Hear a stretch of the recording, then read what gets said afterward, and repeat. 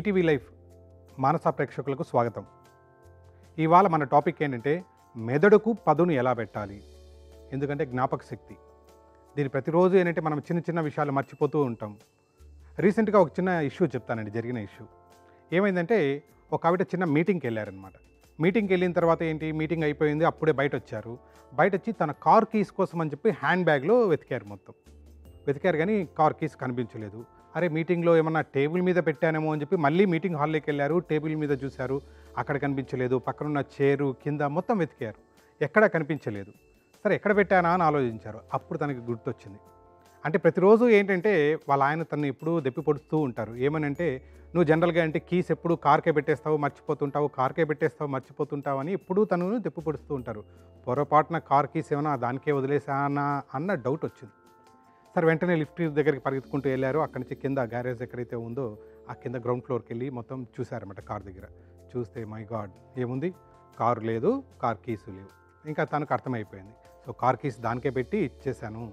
కాబట్టి ఎవరో దొంగ వచ్చి తీసుకెళ్ళిపోయారు అని చెప్పి డిసైడ్ అయిపోయారు అనమాట సరే ఏం చేస్తారు ఇప్పుడు? సో వెంటనే ఏంటి? వాళ్ళ ఆయనకు ఫోన్ చేస్తే మళ్ళీ నేను చెప్తూనే ఉన్నాను కదా మళ్ళీ నువ్వు ఇదే రిపీట్ చేసావా అని అంటారేమో అని అనుకున్నారు. సరే వెంటనే దానికంటే కూడా ముందు ఏదైనా ఒక అంటే ఒక తప్పు జరిగినప్పుడు దాని దిద్దుబాటు చర్య అంటారుగా? అలాగే దిద్దుబాటు చర్య ఒకటి చేసుకుందామని చెప్పి వెంటనే వాళ్ళకు తెలిసిన ఒక పోలీస్ ఆఫీసర్ ఉంటే వెంటనే ఫోన్ చేశారు.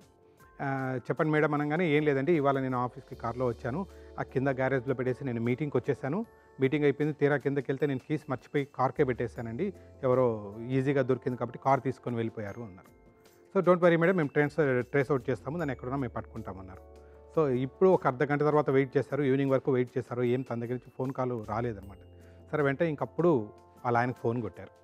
ఫోన్ కొట్టి ఏమండి ఒక చిన్న విషయం అండి ఒక చిన్న తప్పు జరిగిపోయింది అన్నారు. ఏంటి అంటే విషయం చెప్పారు. మీరు ఎప్పుడు అంటున్నట్లుగానే వచ్చాను కార్ కీస్ అక్కడ మర్చిపోయాను దానికి పెట్టేసి. సో ఎవరో దొంగ వచ్చాడు ఆ కార్ను తీసుకొని వెళ్ళిపోయారండి అని చెప్పి అవతల వ్యక్తి ఏం చెప్తున్నారో అని వినకుండా వెంటనే ఏం చెప్పారు? అయినా మీరేమి నన్ను తిట్టాల్సిన పని లేదు. నేను వెంటనే ఏం చేశానంటే దానికి ఒక రెమెడీ చేశాను ఇమ్మీడియట్గా మనకు తెలిసిన పలానా పోలీస్ ఆఫీసర్కి ఫోన్ చేశాను. ఇమ్మీడియట్గా మన వెహికల్ నెంబర్ అంతా ఇచ్చేసాను ఎక్కడున్నా ట్రేస్ చేసి తీసుకొస్తారు. డోంట్ వరీ ఇప్పుడు నన్ను వచ్చి మీరు పికప్ చేసుకెళ్ళండి. నేను ఆఫీస్ దగ్గరే వెయిట్ చేస్తున్నాను అన్నారు.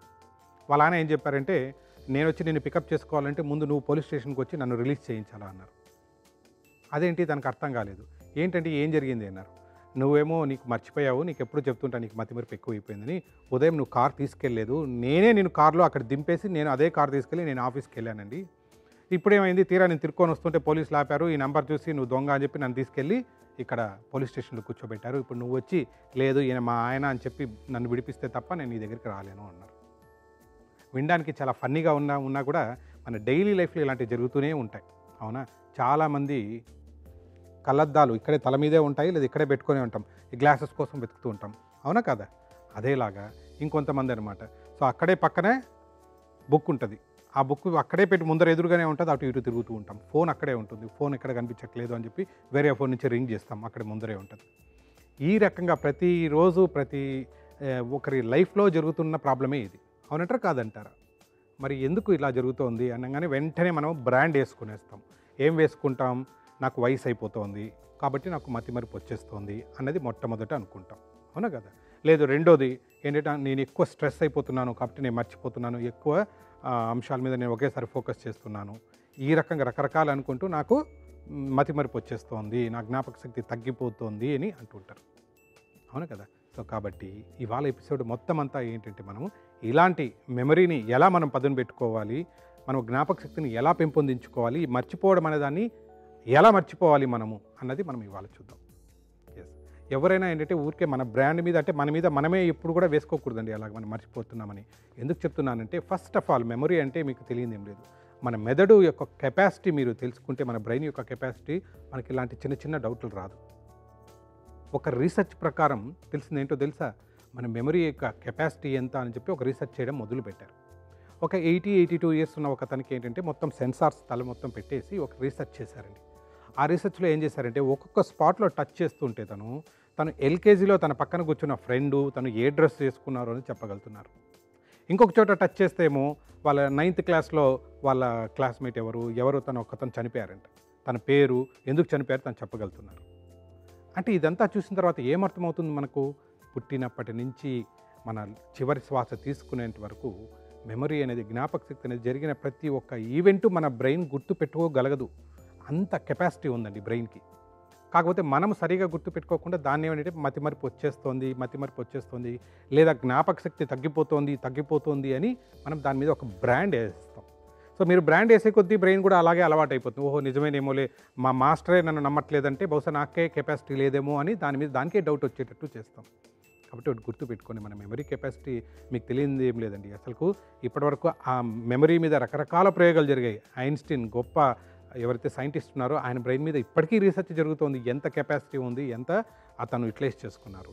సో కొన్ని థీరీస్ ప్రకారము కొన్ని ప్రూవ్ చేసింది ఏంటంటే ఈవెన్ టెన్ పర్సెంట్కు అటు ఇటులో కొంచెం మాత్రం యూస్ చేసుకున్నారు. ఐన్స్టీన్ లాంటి గొప్ప మేధావి కూడా అంతవరకే యూస్ చేసుకున్నారంట.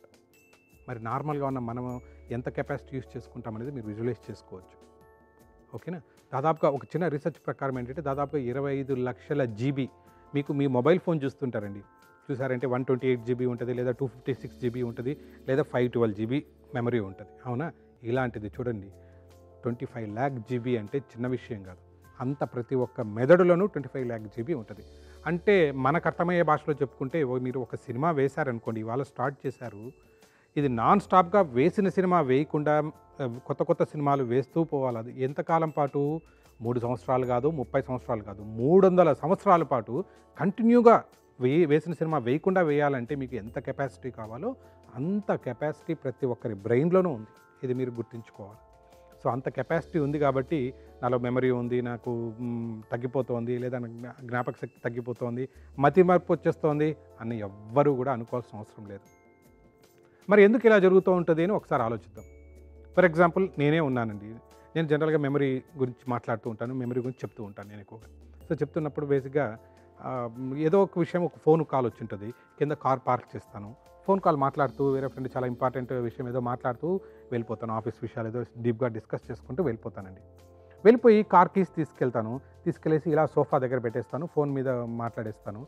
మళ్ళీ నెక్స్ట్ డే మార్నింగ్ నేను కిందకి దిగాలనుకున్నప్పుడు నా కార్ కీస్ ఎక్కడ కార్ కీస్ ఎక్కడ అని వెతుకుతూ ఉంటాను. మరి కార్ కీసు సోఫా మీద పెట్టాను. అది నా బ్రెయిన్ రికగ్నైజ్ చేయలేదండి. ఎందుకంటే నా ఫోకస్ అంతా దేని మీద ఉంది? నేను ఏదైతే ఫోన్ మాట్లాడుతున్నానో ఫోన్ మీద ఉంది. సో కాబట్టి నేను కీస్ ఎక్కడ పెట్టాను అనేది నా బ్రెయిన్ చెప్పలేదు. ఇప్పుడు నా కీస్ ఎక్కడ ఉన్నాయని నేను మళ్ళీ నా బ్రెయిన్ అడుగుతున్నాను. సో ఎలా? నా బ్రెయిన్ తెలియకుండా ఎక్కడో పెట్టేసిన దాన్ని నా బ్రెయిన్ గుర్తుపెట్టుకోమంటే ఎలా గుర్తుపెట్టుకుంటుంది? సో వెంటనే ఏం చేస్తానో నాకు మతి మరిపి వచ్చేస్తుంది అనుకుంటాం. నెవర్ సో ప్రాబ్లం ఏంటంటే ఇక్కడ మీరు ముందు మీ బ్రెయిన్కి మీరు చెప్పలేదు నేను ఇక్కడ పెడుతున్నానని. కాబట్టి అది గుర్తుపెట్టుకోలేదు అంతే. మీరు బ్రెయిన్ చెప్పుంటే అది హ్యాపీగా అది గుర్తుపెట్టుకునేది. సో కాబట్టి ఫస్ట్ ఆఫ్ ఆల్ ఏంటంటే ఈ మెమరీ అనేది అంటే బేసిక్గా దీనికి ఒక మూడు అంశాల మీద ఆధారపడి ఉంటుంది. ఆ మూడు అంశాలు ఏంటంటే మనకు గుర్తు వచ్చే విధంగా ఒక చిన్న అక్రోనిమ్ ద్వారా చెప్తాను. అక్రోనిమ్ ఏమో కాదండి. ఆర్ఆర్ఆర్ ఎస్ ట్రిపుల్ ఆర్ నేను ఏదో సినిమా గురించి చెప్పట్లేదండి. ఎస్ మన ఈ మెమరీలో కూడా త్రీ ఆర్స్ ఉంటాయండి. మొదటి ఆర్ అంటే ఏంటంటే రికగ్నిషన్ రికగ్నిషన్ అనేది వెరీ వెరీ ఇంపార్టెంట్ ఇప్పుడు మీరు నేను చెప్తున్న క్లాస్ మీరు వింటున్నారు అనుకుందాం. లేదా ఈ సెషన్ మీరు చూస్తున్నారు. చూస్తున్నప్పుడు ఏంటి? మీ చుట్టుపక్కల రకరకాల సౌండ్ వస్తుంటుంది. మీ ఫ్యాన్ సౌండ్ వస్తుంటుంది. మీ పక్కనే మీ ఇంటి పక్కనే రోడ్లో వెహికల్స్ వెళ్తుంటే ఆ సౌండ్స్ వస్తుంటాయి. లేదా వంటింట్లో మీరు ఆ పెట్టింటే కుక్కర్ సౌండ్ వస్తూ ఉంటుంది. బట్ ఫోకస్ ఎక్కడుంది? నేను చెప్తున్న ఈ క్లాస్ ఈ సెషన్ వినడానికి మీద మీరు ఫోకస్ చేస్తున్నారు. అంటే ఏంటి? మీ కాన్సన్ట్రేషన్ అంతా ఇక్కడ ఉంది ఆ రికగ్నిషన్ అంతా దీని మీద ఉందన్నమాట. ఈ రకంగా మిగతావన్నీ కూడా మీ బ్రెయిన్లోకి వెళ్ళట్లేదు. అంటే వెళ్ళినా అది డిటెక్ట్ చేయట్లేదు. ఈ రకంగా ఏంటంటే మీరు ఏ విషయం అయితే గుర్తుపెట్టుకోవాలంటున్నారో దాన్ని రికగ్నైజ్ చేసేటట్లుగా రికగ్నేషన్ అంటారు మొదటి ఆర్ దాన్ని ఫోకస్గా గుర్తు పెట్టుకోవాలి ఎందుకంటే చిన్న హోటల్కి వెళ్ళారు అనుకుందాం ఒక చిన్న పార్టీ మీరు చేసుకుంటున్నారు. ఒక పది మంది కలిసి హోటల్కి వెళ్ళారు. వెళ్ళంగానే ఒక టేబుల్ మీద కార్నర్ టేబుల్ దగ్గర కూర్చున్నారు. ఒక వెయిటర్ వచ్చారు. మీరు రకరకాల పది మంది కలిసి పది పది ఐటమ్స్ ఒక్కొక్కరు ఇష్టం వచ్చిన ఐటమ్స్ చెప్పారు. తను ఈవెన్ నోట్ చేసుకోరండి వెయిటర్. సరే ఓకేనా అంతా ఎవ్రీథింగ్ వింటారు గుర్తు పెట్టుకుంటారు వెళ్ళి మీ ఆర్డర్స్ అన్ని తెచ్చిచ్చేసారు మీకు. ఇచ్చేసిన తర్వాత లాస్ట్లో మీరు అయిపోయిన తర్వాత టిప్ ఇచ్చేసి వెళ్ళిపోయారు. మళ్ళీ ఒక వారం తర్వాత మీరు వెళ్ళి అదే టేబుల్ మీద కూర్చున్నారు అదే వెయిటర్ని పిలిచారు. వారం ముందు మేము వచ్చాం పది మంది ఆర్డర్స్ ఇచ్చాంగా. అన్ని ఆర్డర్లు తెచ్చి మొత్తం తీసుకురామంటే తీసుకురాగలుగుతారా? తీసుకురాలేరు. ఎందుకంటే మొదటిసారి తెచ్చినప్పుడు దాన్ని అంటే షార్ట్ టర్మ్ మెమరీలో పెట్టుకున్నారు. అది లాంగ్ టర్మ్ మెమరీలోకి పోలేదు. సో కాబట్టి అది మీకు ఆర్డర్ తెచ్చి ఇచ్చేసేంత వరకే ఉంది మళ్ళీ ఫేడ్ అవుట్ అయిపోయింది. సో మీరు లాంగ్ టర్మ్ మెమరీ కాదనమాట ఇది షార్ట్ టర్మ్ మెమరీలో ఉంది వెళ్ళిపోయింది. సో కాబట్టి ఫస్ట్ ఆఫ్ ఆల్ ఏంటంటే మీరు ఆ రికగ్నిషన్ కోసం అని చెప్పి జాగ్రత్తగా మీరు ఏదైతే చెప్తున్నారో ఆ రికగ్నిషన్ మీ బ్రెయిన్ గుర్తుంచుకుంటుందా లేదా అనేది ఫస్ట్ ఆఫ్ ఆల్ మీరు ఎన్ష్యూర్ చేసుకోండి. సో కాబట్టి నెక్స్ట్ టైం వెళ్తున్నారు ఒక పని ఒక కీ తీసుకుంటున్నారు దానికి చెప్పండి నేను ఇక్కడ పెడుతున్నాను. సో డోర్ దగ్గర పెడుతున్నాను దానికి చెప్పి పెట్టండి. దీనికి చిన్న చిన్న మన డైలీ లైఫ్లో చూసుకుంటే కనుక మీరు ఒక స్టవ్ ఉంది చాలామంది వెళ్ళిపోతున్నాము స్టవ్ ఆఫ్ చేశానా లేదా ఆఫీస్కి వెళ్ళేటప్పుడు డౌట్ వస్తుంది. అవునా కదా? ఇంట్లో గీజర్ ఆన్లో పెట్టేశాను ఆఫ్ చేశానా లేదా అనేది డౌట్ వస్తుంది. కాబట్టి నెక్స్ట్ టైం నుంచి మీరు ఏం చేయాలంటే రికగ్నిషన్ మీ బ్రెయిన్కి కమాండ్ ఇవ్వండి. ఎస్ మీరు వంటింట్లోకి వెళ్ళారు స్టవ్ ఆఫ్ చేస్తున్నారు మీకు మీరు గట్టిగా చెప్పుకోండి స్టవ్ ఆఫ్ చేస్తున్నాను అని చెప్పుకోండి. బాత్రూంలోకి వెళ్ళారు గీజర్ ఆఫ్ చేస్తున్నారు గీజర్ ఆఫ్ చేస్తున్నాను అయిపోయింది. డోర్ వెళ్తున్నారు డోర్ తాళం వేస్తున్నాను అని మీకు మీరు గట్టిగా చెప్పుకోండి. అంటే మీ బ్రెయిన్కి ఏంటంటే అక్కడ రికగ్నేషన్ అయిపోయింది. ఎస్ ఈ టాస్క్ అయిందని. మీకు మళ్ళీ దాని మీద డౌట్ రాదు. నేను వేసానా లేదా అని. సో కాబట్టి ఇన్వాలంటరీగా ఏదో చేసే పని కాకుండా ఎప్పుడైనా ఏంటంటే దాని మీద ఫోకస్డ్గా చేయండి. మీకు చాలామంది డౌట్ వచ్చి ఇవంతా ఎందుకు చేయాలి సార్? ఇవంతా కూడా కొంతమంది పేర్లు ఉంటాయి కొంతమంది ఈవెంట్స్ ఉంటాయి మర్చిపోతుంటాము. ఈ మర్చిపోతున్న ఎందుకు మనం మొబైల్లో పెట్టేసుకోవచ్చు రిమైండర్లు పెట్టుకోవచ్చు ఇవన్నీ చేసుకోవచ్చు. కాకపోతే నా ఉద్దేశం ఏంటంటే ఇప్పుడు కొంచెం వయసు అయిన తర్వాత మతిమరుపు వచ్చేస్తుంది వచ్చేస్తుంది అని ఎందుకు అనుకుంటామంటే నాకు తెలిసిన ఒక ఫ్రెండ్ ఉన్నారండి.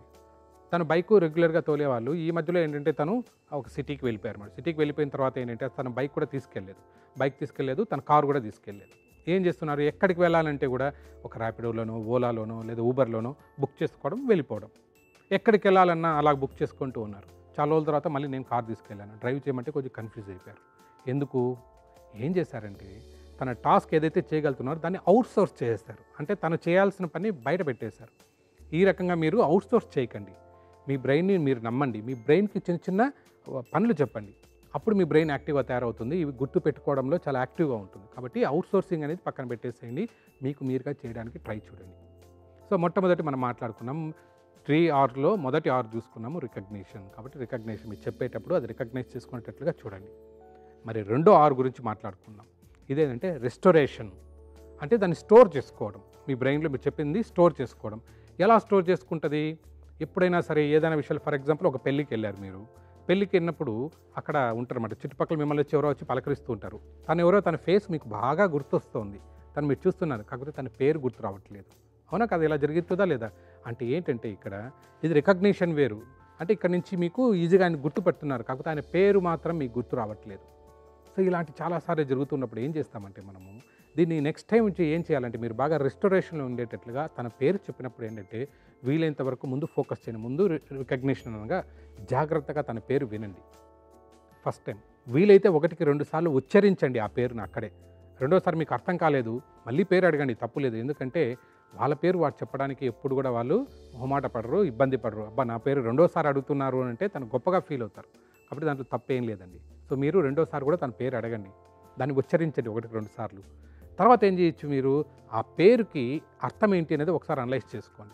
ఫర్ ఎగ్జాంపుల్ వెంకటేశ్వర్లు అని చెప్పారు అనుకుందాం. సో వెంకటేశ్వర్లు అనగానే మన లార్డ్ వెంకటేశ్వర్ని ఒకసారి ఊహించుకొని ఓ తిరుపతిలో ఉంటారు ఈయన అన్నట్లు ఎవరిలోనూ ఒకసారి ఊహించుకొని తన పేరు వచ్చేటట్టు ఊహించుకోండి ఏదైతే దాని మీనింగ్ అర్థం చేసుకోవడానికి చూడండి. తర్వాత మూడోది అసోసియేట్ చేసుకోండి.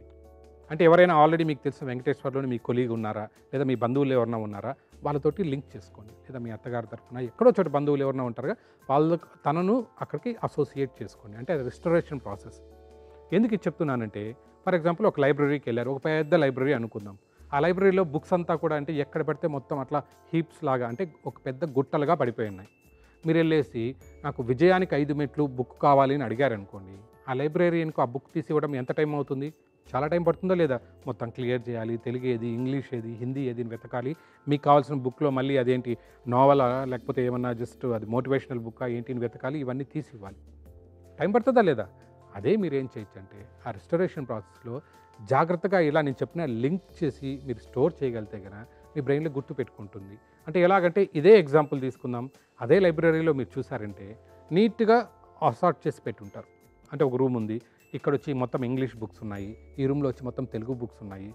ఈ రూమ్లో వచ్చి హిందీ బుక్స్ ఉన్నాయి. ఈ రకంగా ఇక్కడ వచ్చి నావెల్స్ ఉన్నాయి. ఇటు వచ్చి లిటరేచర్ ఉంది. ఈ రకంగా పెట్టుకున్నారు. మళ్ళీ ఆ రూమ్లోనూ మళ్ళీ రకరకాల ర్యాక్స్ ఉన్నాయి. ఈ ర్యాక్లో ఎండమూరి వీరేంద్రనాథ్ ఉన్నాయి. ప్లస్ నెక్స్ట్ ర్యాక్లో వచ్చి ఎద్దనపూడి గారు ఉన్నాయి. ఈ రకంగా వరుసగా మీరు పెట్టుకుంటే పెట్టేసుకున్నారు. ఎంత ఈజీగా మీరు తీసి ఇవ్వడానికి అవుతుంది? విత్ ఇన్ ఫ్యూ మినిట్స్లో మీకు తెచ్చి ఇవ్వగలుగుతారా లేదా? సో కాబట్టి రెస్టరేషన్ అనేది చాలా జాగ్రత్తగా చేయాల్సిన ప్రక్రియ. మన ఇంట్లో మీరు చూసారంటే అమ్మ వంటింట్లో ఎంత నీట్గా స్టోర్ చేసి పెట్టుంటారో గమనించారా?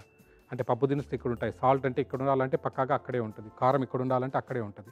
సో తనకు ఉన్నట్లుగా ఎంత జాగ్రత్తగా అయితే చేసి పెడతారో అలాగే మీరు ల్యాప్టాప్ తీసుకుంటారు. లేదా మీ మొబైల్ ఫోన్లో ఉంటాయి ఫోల్డర్స్ క్రియేట్ చేసుకుంటాం. ఒక ఫోల్డర్లో ఏమేమో దానికి కావాల్సిన ఫైనాన్షియల్ స్టేట్మెంట్స్ ఉంటాయి ఇంకొక ఫోల్డర్లో అంటే కొన్ని మంచి పీపీటీస్ ఉంటాయి ఇంకొక ఫోల్డర్లో ఏమంటే మంచి వీడియోస్ ఉంటాయి. ఈ రకంగా ఏ రకంగా అయితే మనం ఇట్లా స్టోర్ చేసుకుంటామో అట్లా పార్టీషన్ చేసుకునేలాగా మీరు జాగ్రత్తగా కనుక స్టోర్ చేసుకుంటే ఆ తర్వాత చెప్పబోయే అంశం చాలా ఈజీ అయిపోతుంది. సో కాబట్టి రెండోది అంటే మీరు స్టోర్ చేసేటప్పుడే చాలా జాగ్రత్తగా స్టోర్ చేసుకొని మీ బ్రెయిన్లో చాలా కాలం పాటు నిలువ ఉంటుంది. Now comes the third R. ఏంటి ఆ థర్డ్ ఆర్ అంటే? మూడోది. రెండు ఆర్లు అయిపోయి రిజిస్ట్రేషన్ అయిపోయింది రెస్టోరేషన్ అయిపోయిందండి. నెక్స్ట్ మూడోది వచ్చి రీకాల్ ఎస్ రీకాల్ ఏమంటే జ్ఞప్తికి తెచ్చుకోవడం. ఎక్కడో లోపల మీరు స్టోర్ చేస్తున్నారు దాన్ని తిరిగి జ్ఞప్తికి తెచ్చుకోవడం. ఫర్ ఎగ్జాంపుల్ ఒక పిల్లవాడు ఉన్నాడు. తనకి ఏదో A plus B whole square అనే ఒక ఎగ్జామ్లో ఒక క్వశ్చన్ వచ్చింది. తను రాస్తున్నారు A square plus B square రాసుకున్నారు. తర్వాత ఏంటి అని మర్చిపోయారు. ఆలోచించారు ఆలోచించారు ఆలోచించారు. టైం అయిపోయింది బెల్ కొట్టేశారు బయట వచ్చేసారు బయట వచ్చిన వెంటనే తనకు అప్పుడు గుర్తొస్తుంది. అబ్బా A square plus B square plus two AB కదా అని. అంటే ఇప్పుడు ఉపయోగం వచ్చి బయట వచ్చిన తర్వాత జ్ఞప్తికి వస్తే ఏమైనా ఉపయోగం ఉందా? లేదు కదా. రీకాల్ అంటే ఏం లేదండి. మీకు అవసరమైన సమయంలో అవసరమైన ఇన్ఫర్మేషన్ మీకు జ్ఞాపకం వచ్చేదాన్నే రీకాల్ అంటారు అదే ఎగ్జాంపుల్ పెళ్ళికి వెళ్ళారు. పెళ్ళికి వెళ్ళి ఒక తలకరిస్తున్నారు. తన పేరేంటో తెలియదు. పెళ్ళి నుంచి అయిపోయి మళ్ళీ ఇంటికి వచ్చిన తర్వాత అరే తన పేరు ఇది కదా గుర్తుకు వస్తుంది అప్పుడేముంది? మర్చిపోతుంటారు అంటే ఉపయోగం లేదు మనకి. సో కాబట్టి ఆ ఎపిసోడ్ అయిపోయిన తర్వాత గుర్తొస్తే మనకు ఉపయోగం లేదండి. సో కాబట్టి అవసరమైన సమయంలో మనకు జ్ఞాపకం రావాలి. సో కాబట్టి ఆ రీకాల్ ఎంత బాగా చేసుకుంటారో అన్న దాని మీదే ఆధారపడి ఉంటుంది. దీనికి గాను చిన్న చిన్న టిప్స్ ఏం చెప్తామంటే సో జనరల్గా మర్చిపోతుంటారుగా నెక్స్ట్ టైం నుంచి చేసేటప్పుడు ఈ రికగ్నిషన్ అయిపోవచ్చు ఈ మూడింటికి కలిపి చిన్న చిన్న టిప్స్ చెప్తాను. ఎప్పుడైనా సరే మీరు వెళ్తున్నారు ఒక రెండు మూడు అపాయింట్మెంట్స్ ఉన్నాయి. ఈ అపాయింట్మెంట్స్ ఖచ్చితంగా మీరు చేయాల్సిన పనులు ఉదయం ఆఫీస్ నుంచి వెళ్ళిపోతున్నారు ఈవినింగ్ వచ్చే లోపల మీరు చేసుకురావాలి. ఎలా గుర్తుపెట్టుకుంటారు? మొబైల్లో రిమైండర్ పెట్టుకోవచ్చు. అవుట్ సోర్స్ వద్దనుకుంటున్నారా? మీ బ్రెయిన్నే టెస్ట్ చేసుకోవాలనుకుంటున్నారా? సింపుల్గా ఏంటంటే ముం- మన చిన్న సేఫ్టీ పిన్స్ ఉంటాయిగా ఎక్కడో చోట మీ పాకెట్లోనో ఎక్కడో గుచ్చుకోకుండా ఒక మూడు పిన్స్ వేసుకోండి. వచ్చేటప్పుడు ఒకసారి ఆలోచించుకోండి. ఎన్ని పిన్స్ ఉన్నాయి ఇలా తడుపుకున్నారనుకోండి మీకు తెలిసిపోతుంది. అంటే ఒక పని చేశారు వెళ్ళేటప్పుడు దారిలో ఏదో ఐ మీన్ ఆఫీస్ సంబంధించిన ఏదో ఒక బిల్ పే చేయాలి. బిల్ పే చేశారు. ఒక సేఫ్టీ పిన్ తీసేయండి. రెండు మాత్రమే ఉంటాయి. అంటే మూడు పెట్టుకున్నారనుకుంటే ఒకటి తీయేశారు ఇక రెండు మాత్రమే ఉన్నాయి. అంటే ఇంకో రెండు ఈవెంట్స్ ఏవో ఉన్నాయని గుర్తుపెట్టుకుంటారు. అంటే ఈవినింగ్ అయ్యే లోపల అది చేసినప్పుడు ఒక్కొక్కటి తీసేయండి. అంటే మొత్తం క్లియర్ అయిపోవాలి. ఇంటికి వచ్చేటప్పుడు మళ్ళీ తడుముకుంటే మీకు సేఫ్టీ పిన్స్ తగలకూడదు అప్పుడు ఏంటంటే మీరు అనుకున్న టాస్క్లు అయినట్లు. ఇది ఒక్కటి చేయొచ్చు మీ రెగ్యులర్ లైఫ్లో. రెండోది ఏం చెప్తాము? వచ్చిన రబ్బర్ బ్యాండ్ గురించి చెప్తాం. రబ్బర్ బ్యాండ్ ఏం చేస్తారంటే ఇట్లా రిస్ట్కి వేసుకోమంటాం ఇలాగా. అంటే ఏమవుతుంది అంటే మరి టైట్గా రక్త ప్రసరణ లేకుండా కాదండి. కొంచెం సింపుల్గా లూజ్గా ఉండేటట్లు వేసుకోండి. వీలైతే రెండు ఉంటే కలర్ఫుల్గా ఉన్న ఒక రబ్బర్ బ్యాండ్స్ వేసుకోండి. మీకు అది రిమైండర్ అనమాట ఆఫీస్ నుంచి వచ్చేటప్పుడు ఎందుకు రబ్బర్ బ్యాండ్ వేసుకున్నానో మీకు తెలియకుండానే గుర్తొస్తుంది. ఓ పలానా వర్క్ నాకు పెండింగ్ ఉంది అని మీ బ్రెయిన్కు తెలుస్తుంది. సో కాబట్టి పని అయిపోయిన తర్వాత తీసేయండి. లేదా రెండోది మీకు అలవాటు ప్రకారం ఎడం చేతికి వాచి పెట్టుకుంటున్నారా? కుడి చేతికి దాన్ని మార్చుకోండి. అలా వచ్చినప్పుడు ఏముంది? మీకు ఒకసారి గుర్తొస్తుంది. ఎందుకు నేను ఈ చేతికి పెట్టుకున్నాను? గుర్తొస్తుంది. ఆడవాళ్ళు అయితే చీరకు ముడులు వేసుకోవచ్చు. ఈ రకంగా చిన్న చిన్నవి లేదా కర్చీఫ్లో ఉంటే ఒక రెండు మూడు ముడులు వేసుకోండి మీకు ఎన్ని ఈవెంట్స్ ఉన్నాయంటే అన్ని ఈవెంట్స్ అయిపోయినప్పుడు మీ బ్రెయిన్ నమ్మండి. ఒక మూడు పనులు ఉన్నాయి సాయంకాలానికి చేసుకొని వచ్చేస్తారు. కాకపోతే మీ బ్రెయిన్కి మీరు గుర్తు చేయాలంతే ఏదో ఉన్నాయి వర్క్స్ అని. ఇలా చిన్న చిన్న టిప్స్ వల్ల లేదా మీరు ఇల్లు వదిలేసి బయట ఐ మీన్ ఇల్లు వదిలేసి బయట వెళ్తున్నారు చాలా ఇంపార్టెంట్ టాస్క్. సో ఏంటంటే మీ పేస్టెడ్ ప్యాడ్స్ ఉంటాయి చిన్న చిన్న పేపర్లు కలర్గా. అవి అక్కడ డోర్కి అతికించండి. అంటే డోర్ దాటుకొని మీరు ముందు వెళ్ళాలిగా డోర్కు కంపల్సరీ మీకు అక్కడ కనిపిస్తాయి. ఎందుకు ఈ మూడు కలర్లు ఇక్కడ పెట్టాను అంటే తనకు గుర్తొస్తుంది ఓహో రేపు మార్నింగ్ ఆఫీస్లో నాకు ఈ ఫైల్ పలానా ఫైల్ తీసుకెళ్ళాలి. ఆ ఫైల్ కోసమని నేను బ్లూ కలర్ ఇక్కడ అతికించాను. అయిపోయింది సింపుల్. ఈ రకంగా చిన్న చిన్న టిప్స్ చేస్తూ ఈజీగా మీరు గుర్తుపెట్టుకోవచ్చు. రెండోది వచ్చి ఇంకో ఒక అపాయింట్మెంట్స్ ఉన్నాయి. అపాయింట్మెంట్స్ ఎలా గుర్తుపెట్టుకుంటారంటే మా మెమరీ ట్రైనింగ్లో మేము ఒకసారి అపాయింట్మెంట్స్ చెప్తూ ఉంటాం. ఏ రకంగా చెప్తూ ఉంటామంటే ఫర్ ఎగ్జాంపుల్ మేము మండే నుంచి ఒక సెవెన్ డేస్ ఉన్నాయనుకుంటే మండేని ఒకటితోటి మేము పెట్టుకుంటాం. ట్యూస్డే అంటే రెండు వెడ్నెస్డే అంటే మూడు థర్స్డే అంటే నాలుగు ఈ రకంగా మీరు విడ విడ తీసుకొని పెట్టుకోండి. ఇప్పుడు అపాయింట్మెంట్స్ పెట్టేటప్పుడు ఏం చేస్తామంటే ఎప్పుడైనా సరే మా మెమరీ ట్రైనింగ్లో మేము ఏం చేస్తామంటే ఆ వన్ టూ త్రీని ఎప్పుడు కానీ మేము నంబర్లుగా ఊహించుకోమండి. సింపుల్గా ఏం చేస్తారు దాని ఒక పిక్చర్ కింద కన్వర్ట్ చేసుకోండి. ఆ పిక్చర్ కింద ఏ రకంగా చేసుకుంటారు అని అంటే ఫర్ ఎగ్జాంపుల్ రైమింగ్ మెథడ్స్ అంటాం మేము. రైమింగ్ మెథడ్లో ఏం చేస్తామంటే వన్ అంటే ఏంటంటే మీకు అలాగా సౌండ్ వచ్చేది ఏదో ఒక పిక్చర్ మీరు జ్ఞాపకం పెట్టుకోవాలి. వన్ అంటే ఏంటి? For example bun gun run ఈ వీటి రైమింగ్ వర్డ్స్ అంటారు. ఏదో ఒక వర్డ్ పెట్టుకోండి. నేను వన్ అంటే ఏంటంటే గన్ అనుకుంటాం. టూ అంటే షూ త్రీ అంటే ట్రీ ఫోర్ అంటే డోర్ ఫైవ్ అంటే హైవ్ అంటే తేనెపట్టు సిక్స్ అంటే విక్స్ సెవెన్ అంటే హెవెన్. ఇలా ఏడు గుర్తు పెట్టుకోండి. ఒక్కొక్క రోజుకు ఒక నంబర్ పెట్టుకుంటారు. ఫర్ ఎగ్జాంపుల్ మొదటి రోజు ఒక చిన్న ఎగ్జాంపుల్ చెప్తాను. మండే రోజు మీరు మీ పిల్లవాడి స్కూల్కి వెళ్ళాలి అని మీరు అనుకున్నారు. సో మీరు లింక్ చేసుకోవాలంట. కాకపోతే ఏంటి అసోసియేషన్ చాలా ఫన్నీగా ఉండాలి చిన్నపిల్లలు చేసినట్లుగా చాలా సింపుల్గా ఉండాలన్నమాట. మండే రోజు ఏం చేస్తున్నారు మీరు? స్కూల్కి వెళ్ళాలి స్కూల్కి వెళ్ళాలన్నప్పుడు ఎలా ఫన్నీగా ఊహించుకోవాలంటే మీరు ఒకసారి స్కూల్కి వెళ్ళారు. ఆ స్కూల్ ప్రిన్సిపాల్ మీతోటి మాట్లాడుతున్నారు. మీ పిల్లవాడికి తక్కువ మార్కులు వచ్చాయనుకోండి మీతోటి మామూలుగా మాట్లాడట్లేదండి. వన్ అంటే ఏమన్నాను ఒక నమ్మ ఒక పిక్చర్ ఊహించుకోమన్నాను గన్ అన్నాం. అంటే ప్రిన్సిపాల్ గారు ఒక గన్ను పెట్టుకో అన్నారు అంటే ఎందుకు నీ తక్కువ మార్కులు వస్తాయని మిమ్మల్ని గన్ను చూపించి బెదిరించి మీకు చెప్తున్నారు ఎందుకు తక్కువ మార్కులు వచ్చాయని. ఫన్నీగా ఊహించుకోండి. గుర్తుంటుంది. అలాగే మొదటి రోజు అంటే మండే రోజు మీరు ఎప్పుడు అనుకుంటే కూడా మండే ఏం గుర్తుంది? వన్ వన్ అంటే ఏంటి? గన్ ఎవరు పెట్టుకున్నారు? ప్రిన్సిపాల్ పెట్టుకున్నారు. అంటే స్కూల్కి వెళ్ళాలి ఒక లింక్ అయిపోయింది. రెండోది ట్యూస్డే. ఫర్ ఎగ్జాంపుల్ ఏదో పెళ్ళికి వెళ్ళాలి అని అనుకున్నారు. అంటే తమాషాగా షూ అంటే ఏమన్నాను? షూ అన్నాను. పెళ్ళికి లింక్ చేసుకోవాలి మనం. ఆ షూని పెళ్ళికి లింక్ చేసుకోవాలి. ఎలా లింక్ చేసుకుంటారు? మీరు వెళ్తున్నారు. ఐ మీన్ ఒక పెళ్ళిలో మీరు పెళ్ళి కొడుకు పెళ్ళి కూతురుకు షూ మీరు బహుమానంగా ఇస్తున్నారు. మీరు ఒక్కరే కాదండి వచ్చిన గెస్ట్ అంతా కూడా అవే బహుమానాలు ఇస్తున్నారు. మీకు రిటర్న్ గిఫ్ట్ కింద కూడా మీకు షూనే ఇస్తున్నారు. కలర్ఫుల్గా ఆ బ్రాండ్స్ అని ఊహించుకోండి ఈ రకంగా షూనే ఇస్తున్నట్లు గుర్తు పెట్టుకోండి రెండోది ఊహించుకున్నారు మీరు నెక్స్ట్ డే ఏదో ట్యూస్డే రోజు ట్యూస్డే అంటే సెకండ్ డే టూ అంటే ఏమి? షూ షూ ఎవరు పెట్టుకున్నారు? పెళ్ళిలో పెళ్ళి కూతురు పెళ్ళి కొడుకు మనం గిఫ్ట్ ఇచ్చాం. అంటే పెళ్ళి గుర్తొస్తుంది. మూడోది వచ్చి ట్రీ ట్రీ అంటే ట్రీ అంటే ఎవరో మీకు ఫర్ ఎగ్జాంపుల్ చెప్తున్నాను. ఒక ఫ్రెండ్ వస్తున్నారు రైల్వే స్టేషన్కి వెళ్ళి పికప్ చేసుకోవాలి. రైల్వే స్టేషన్ అంటే ఏ సికింద్రాబాద్ ఇలాంటి పెద్ద రైల్వే స్టేషన్ పెద్ద పెద్ద ప్లాట్ఫామ్ కాకుండా ట్రైన్ దగ్గర ఏంటంటే మీకు ఆ ప్లాట్ఫామ్ అంతా కూడా మొత్తం ట్రీసే ఉన్నాయి. ఏం లేనట్లుగా ఫన్నీగా ఊహించుకోండి. అప్పుడేముంది ఆటోమేటిక్గా త్రీ అంటే ట్రీ. వెడ్నెస్డే రోజు ఎక్కడికి వెళ్ళాలి మీరు? ట్రీ. ఎక్కడుంది? Railway station. అక్కడికి ట్రైన్స్ వస్తూ ఉన్నాయి. అంటే ఎవరినో పికప్ చేసుకోవాలి. అయిపోయింది. ఫోర్ అంటే డోర్. ఫైవ్ అంటే హైవ్. ఈ రకంగా ఫర్ ఎగ్జాంపుల్ హైవ్ అంటే ఏంటంటే ఫర్ ఎగ్జాంపుల్ ఆ రోజు మీ ఇంట్లో ఏసీ ఉంది చాలా రోజుల నుంచి అది రిపేర్ ఉంది మెకానిక్ వస్తానన్నారు. ఓకేనా? సో అప్పుడు ఏం చేస్తున్నారు మీరు? ఆ, రోజు చూడాలి five fifth day. Fifth day ఏం చేస్తున్నారు మీరు? చూస్తున్నారు. అంటే ఏసీలో తేనె పట్టు పెట్టినట్లు ఆన్ చేయగానే లోపల నుంచి తేనెటీగలు వస్తున్నట్లు ఊహించుకోండి. అప్పుడు మీకు గుర్తొస్తుంది. అవునా? ఫిఫ్త్ డే ఏం పని ఉంది నాకు? ఎస్ హైవ్ అంటే ఏంటి? అక్కడికి పోవాలి. ఫిఫ్త్ అంటే ఫ్రైడే రోజు. ఏం పని ఉంది మీకు? తేనెపట్టలు వస్తున్నాయి. ఎక్కడి నుంచి వస్తున్నాయి? ఏసీలో నుంచి. అంటే ఏసీ మెకానిక్ వస్తున్నారు. ఈ రకంగా మీరు ఇట్లా విజువలైజ్ చేసుకోవడం వల్ల ఏంటంటే మీ బ్రెయిన్ బాగా యాక్టివేట్ అవుతుంది. సో రెగ్యులర్గా ఏంటంటే ఇది మీరు ప్రాక్టీస్ చేస్తూ రండి. ఓకే సండే రోజు ఒక సినిమాకి పోవాలనుకుంటున్నారు ఊహించుకోండి. సెవెన్ అంటే ఏమన్నాను? హెవెన్ అన్నాను. సినిమాకి వెళ్ళినప్పుడు ఆ బుకింగ్ కౌంటర్ దగ్గర మీకు హెవెన్ అంటే ఏంటి? ఒక దేవుడు ఎవరో ఒక మేఘాల్లో ఉన్నట్లుగా సినిమాలో మీరు కూర్చున్నారు థియేటర్లో మీ పక్కన ఎవరో దేవుళ్ళు కూర్చున్నట్లుగా ఏదో ఒకటి ఫన్నీగా ఊహించుకోండి. అప్పుడు మీకు గుర్తొస్తుంది. సెవెన్ అంటే సండే రోజు ఎక్కడ పోవాలనుకుంటున్నారు? చుట్టుపక్కల దేవుడు ఉన్నారు. దేవుడు అంటే ఎక్కడ ఉంటారు? హెవెన్ స్వర్గంలో ఉంటారు. అంటే ఏంటి? సండే రోజు సినిమాకి పోవాలి. ఈ రకంగా మండే నుంచి ఒక ఆ తర్వాత నెక్స్ట్ కమింగ్ ఆ వీక్ మొత్తం ఏంటంటే ఈ రకంగా మీరు షెడ్యూల్ చేసుకున్నారనుకోండి మర్చిపోయే అవకాశమే లేదు. మీ బ్రెయిన్ అద్భుతంగా గుర్తు పెట్టుకుంటుంది.